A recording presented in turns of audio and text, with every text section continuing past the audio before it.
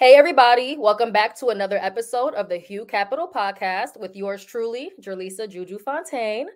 Uh, per usual, you know that I'm always really excited and intrigued to introduce you all to people who inspire me on a daily basis. And after I have this person introduce themselves, I'm actually going to tell you all as to my first introduction with this person and why they matter to me. But this particular episode is really for those who are either aspiring entrepreneurs and founders or people who have, already found their company and they're looking to actually grow that company. And I believe that this person who is here with us today, Mr. Darrien Watson, has a lot of information to share with you all. So, as a reminder, this particular episode will be breaking up into two different episodes where this first episode will be focusing on his upbringing, his culture, his education, what he maybe thought he wanted to do before he actually started working towards his companies and being an entrepreneur. And then after that, for those who want to listen to the second episode, which you all should, we're going to get really fixated into what it actually looks like to be a founder who's intentionally building their company even full time.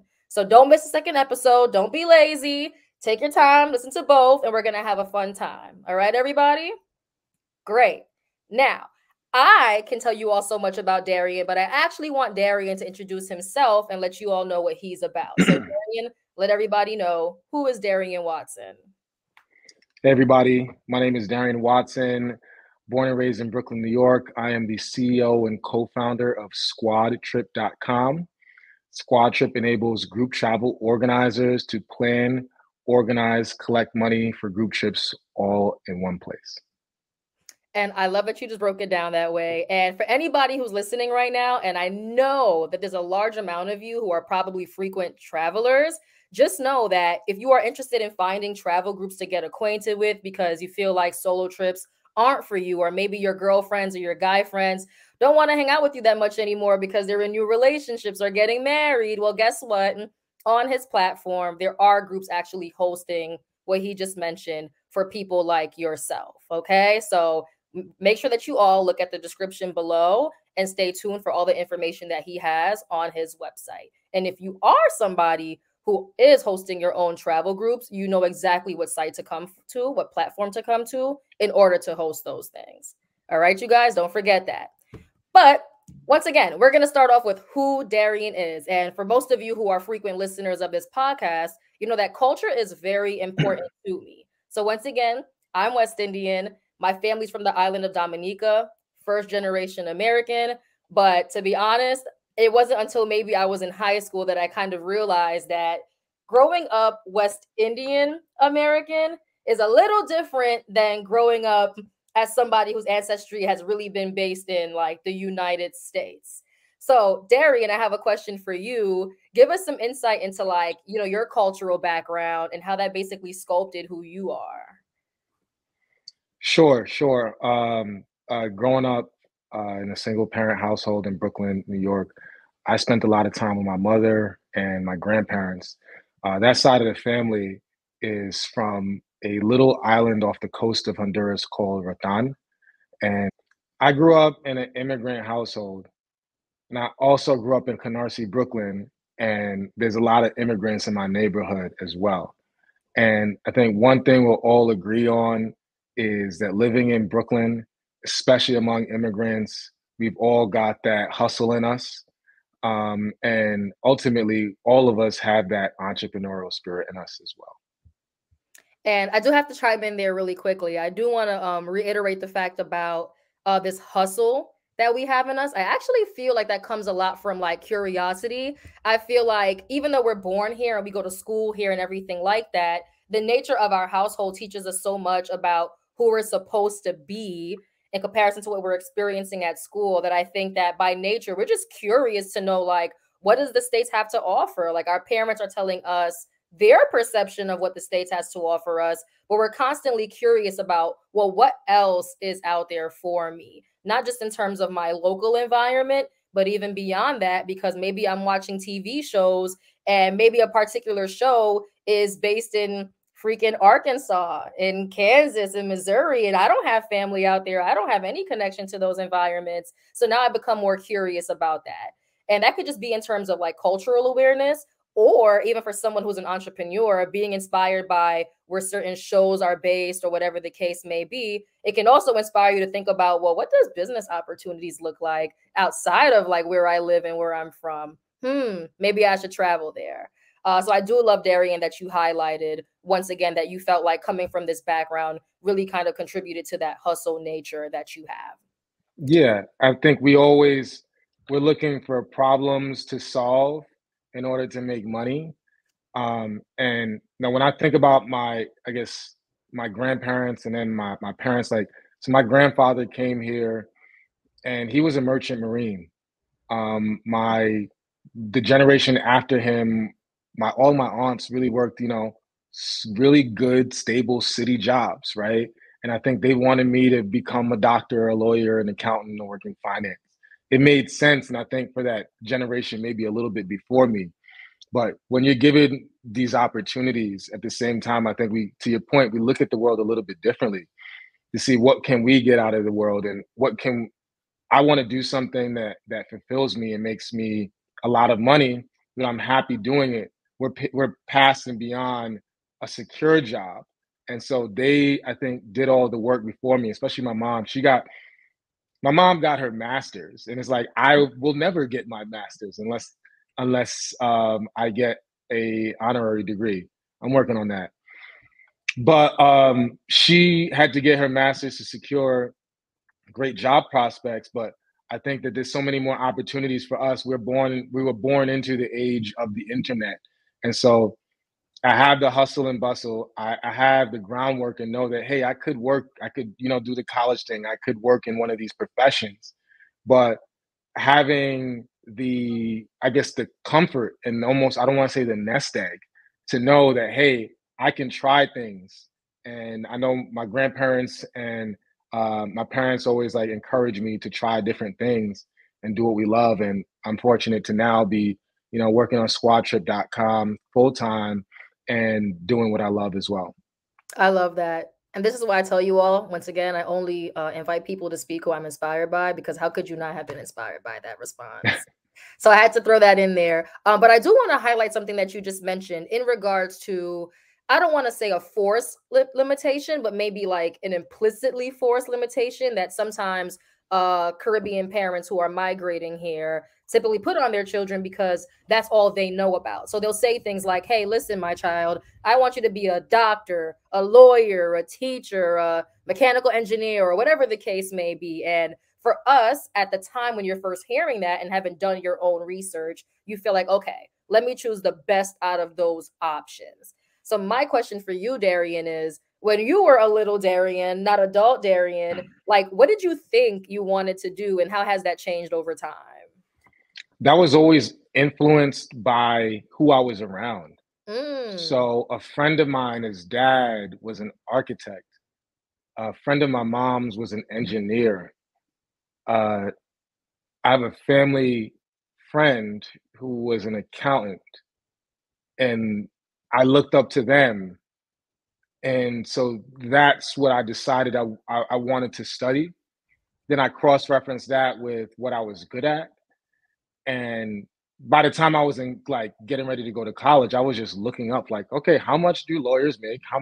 Like literally, um, and don't don't get me wrong, like I went to college, uh, a four um, a four year college, and I got a, a a bachelor's, and I think that afforded me the baseline of having the good job that pays that I can take that money and every night uh, work on something else that I was interested in, and so I don't want anybody to get it twisted. I think if you have a plan for sure, you know, you don't have to go to school. I didn't have a plan. I was kind of just going by what I was introduced to based on who was successful around me. Mm. And uh, there weren't that many people in technology or many entrepreneurs. And so I went with what I knew. And that did give me a base that I was able to start from that allowed me to pour my time and my money into something else that would eventually bear fruit. I love that. And I, I want to think more to your college experience, right? I know you had mentioned that throughout your life, once again, who you wanted to be or who you aspired to be was very dependent on maybe who impressed you at that time. Maybe at a particular moment, to your point, it was the accountant. Maybe at another time, it was the architect. But for Darrien, who came into college at 18 years old, what did that Darian think he wanted to do? Was it back to that lawyer example you gave, or was it something else, or you just really did not know? I I always knew I wanted to carve out some space for myself.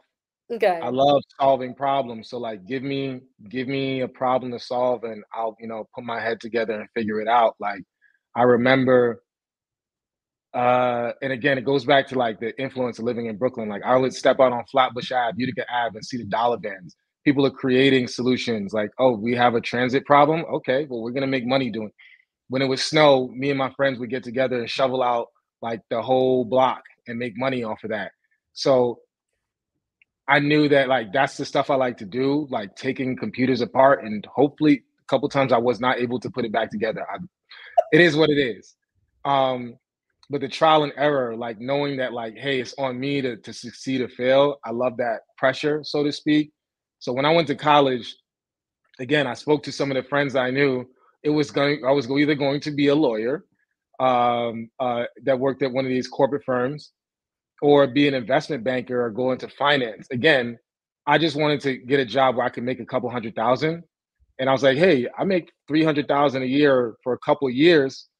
I might have a barbershop, a nail salon. Like, I was, I always wanted to just make the money so I could do something else. So while I was in college, I was playing um, poker mm. and making money in online tournaments I was I had all these other jobs. Like the whole goal was to just make money so that I could funnel that. I used to throw parties.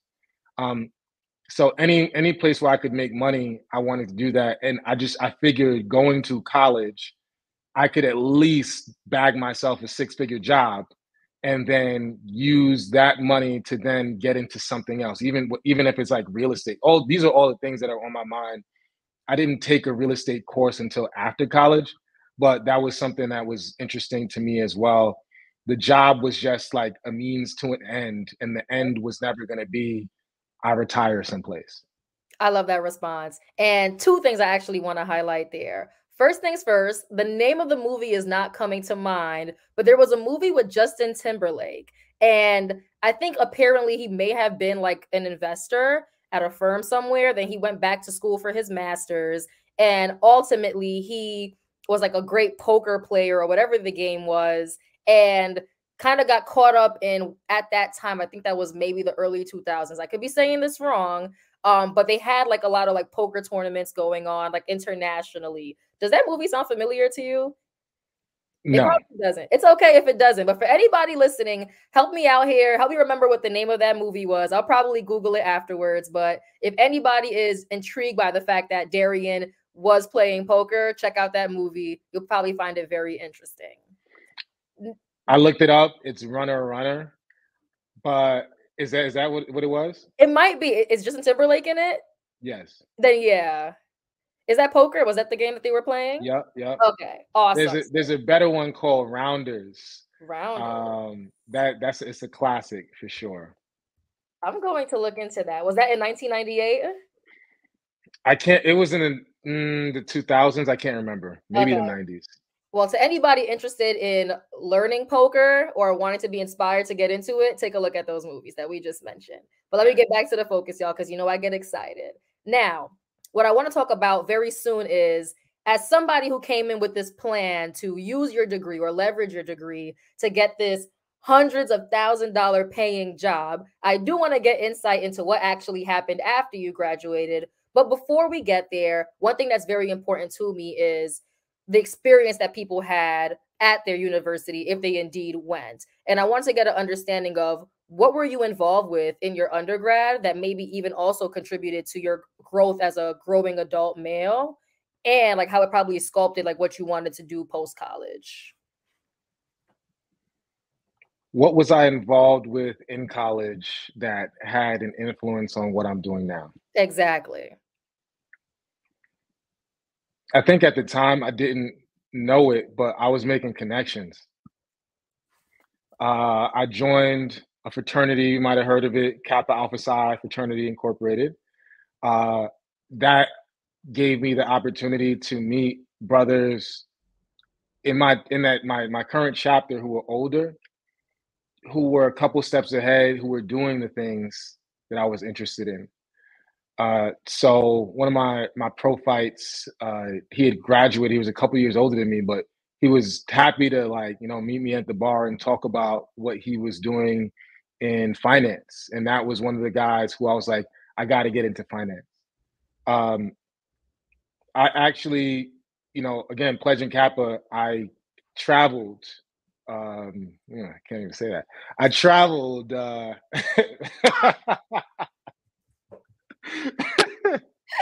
oh, I'll keep it good. uh huh. They can hear you. You traveled. Mm-hmm. Yeah, we traveled. You know, before I was a Nupe, and then after I became one, I did a lot of traveling. So I met a lot of Nupes across the country and made connections. Um, and I think even at, at some point, I did a semester at because I went to Trinity College. I did a semester at Old Westbury, SUNY College at Old Westbury. Mm. Um, and at the time, I already knew my frat bros who went there because I had met them in the past. Maybe I wouldn't have gone there, but I, I was I was doing an internship in the city, so I just I wanted to do an internship for the semester and also still be taking courses. So it just made sense. I had my finance internship in in um, downtown Manhattan. I would take the LIRR um, out to West, uh, SUNY Old Westbury and there I met a lot of people, and I did not realize at the time.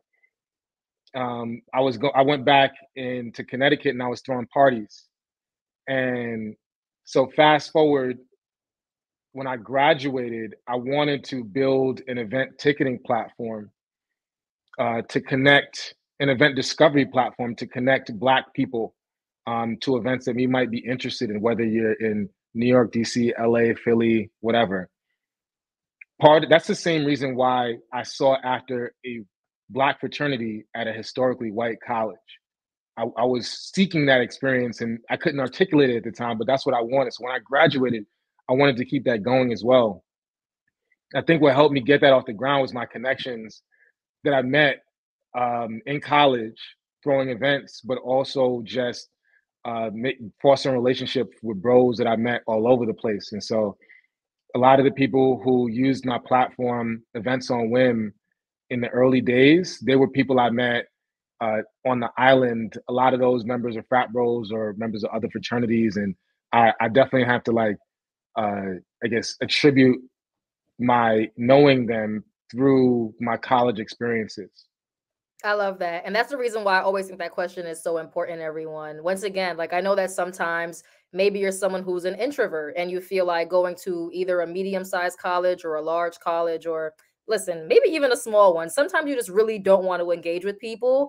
And I think it's very important that whether the type of organization that you join is a professional community or a social community or both, just join something and get involved in something because you ultimately never know who you're going to meet, how they inspire you to try new things like throwing parties or whatever the case may be, and ultimately how that can inspire or impact your future career or business goals. So I always yeah. want to remind you all for who for those who are actually in college right now, try your best to get involved, build your network, build it authentically, and you never know how that's going to help you in the long run.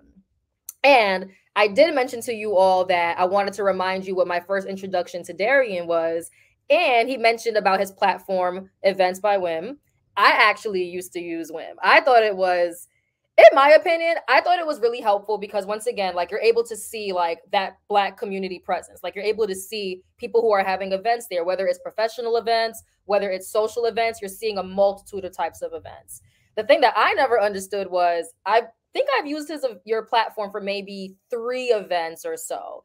And I was like, you know what? I wonder why I never even like tried to look up who owns this. Like, why did they care so much to build this? And then I ultimately figured out who it was, which was you. And I was like, you know what? I'm having an event about people who are trying to like branch into technology.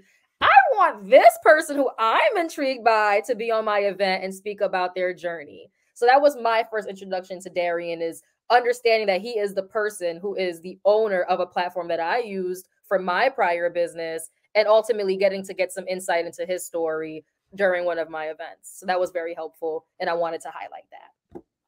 Now, as we get towards the end of this interview, I did mention before that I wanted to come back to as this person who was at the time pursuing maybe law or pursuing maybe investment banking or pursuing anything that gave them hundreds of thousands of dollars. And then ultimately after you left college you decided to start building uh, your company or your brand called Whims. What job did you actually take if you took one right away sure so uh, when i was in college at the time again a frat brother of mine knew that i was interested in finance he was working at jp morgan and told me, hey, if I was interested in an internship, that he'd put in a good word. That was basically like a foregone conclusion. Once he sent my resume, I had the job. And so I was interning at JP Morgan, um, I think my junior year of college over the summer, making good money. Uh, and so I was able to build up a resume um, for in financial services so that when I graduated, I could land a full time job in in financial services. So that's what I ended up doing for a couple of years outside of out of college.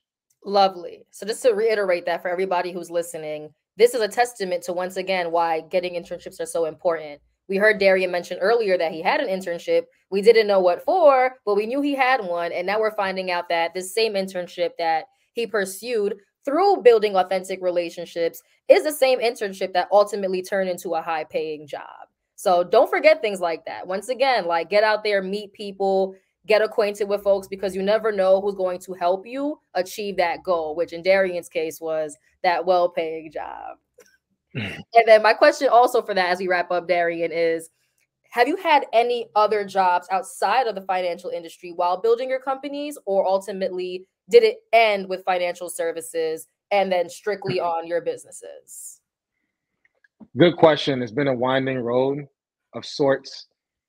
So I had a couple of jobs uh, out, like once I graduated from college in financial services. I worked at HSBC, J.P. Morgan, Lehman Brothers, Morgan Stanley, all the banks. Uh, ultimately, I was always in, interested in technology.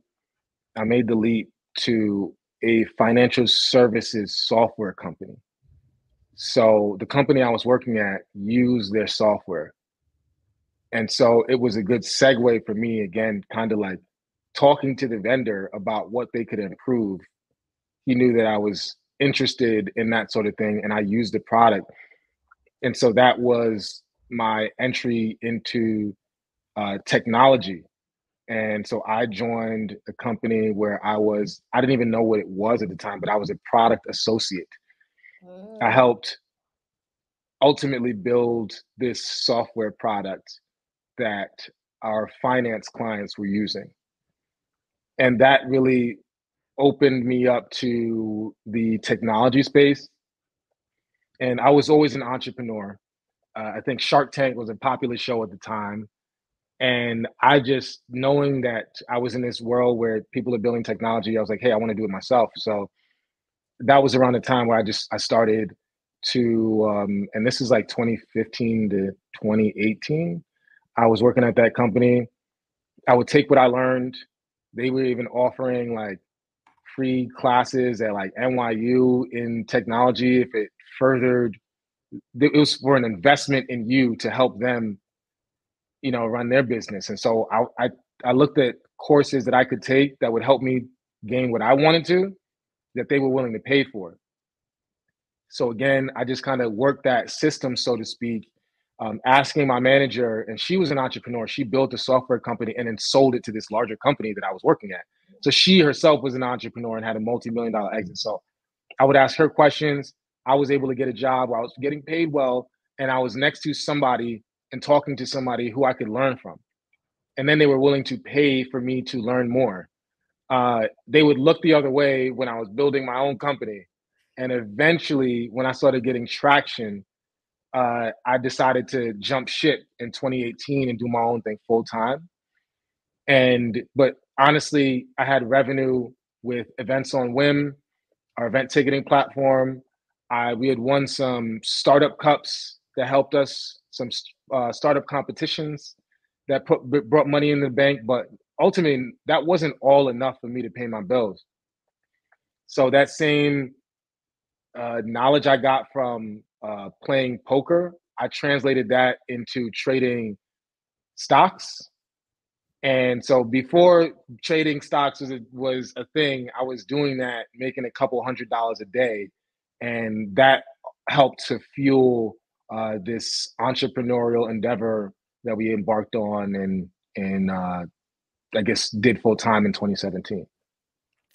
If you all are not inspired by that, I don't know what to tell you.